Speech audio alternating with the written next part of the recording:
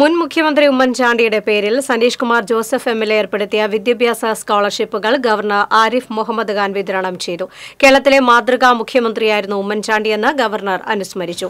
ലാളിത്യ ജീവിതവും വിദ്യാഭ്യാസ മേഖലയോടുള്ള ഉമ്മൻചാണ്ടിയുടെ ആത്മാർത്ഥതയും ജനങ്ങൾ തിരിച്ചറിഞ്ഞതാണെന്നും ഗവർണർ പറഞ്ഞു. ചാലക്കുടി സേക്രഡ് ഹാർട്ട് കോളേജിൽ നടന്ന ചടങ്ങിൽ സനീഷ് കുമാർ ജോസഫ് എം പ്രഭാഷണം നടത്തി. Chalakudy M Benny Behanan Chandy Oommen M L ഉമ്മൻചാണ്ടിയുടെ ഭാര്യ മറിയാമ്മ ചാലക്കുടി ബ്ലോക്ക് പഞ്ചായത്ത് പ്രസിഡന്റ് വേണു കണ്ടരുമഠത്തിൽ എന്നിവർ സംസാരിച്ചു.